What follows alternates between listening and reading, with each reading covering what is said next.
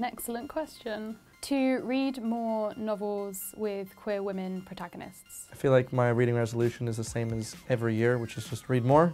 I always start strong, and then I just, just go down. So I need to give more time to reading. In 2017, I want to not panic about reading. Sometimes I just feel so much pressure from everyone reading so many books, and I just want to let go of that. To read at least a book a month. That's the plan.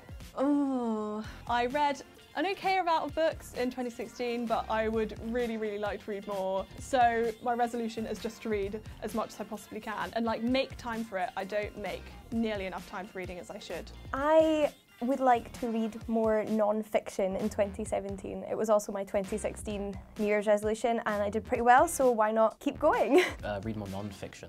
I read a lot of, uh, not a lot, but I read more fiction than non-fiction. I'm always interested in stories. There's a whole other world of books out there uh, that are able to teach me things. I think it would be good to sort of engage with those. My 2017 reading resolution is to finish off series that I've read one book of and haven't completed yet. I would like to just read by whim for a year because I always kind of end up doing lots of buddy reads and book groups and all that kind of thing. So I just like to read by whim for a year and get through some more back catalogue stuff.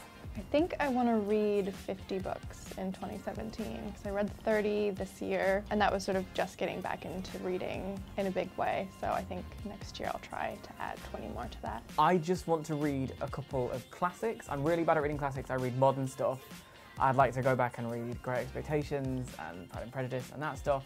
In all likelihood, no, I won't. Sometimes I pressure myself into finishing a book if I'm not enjoying it very much, and I'm going to stop doing that because there are too many books out there.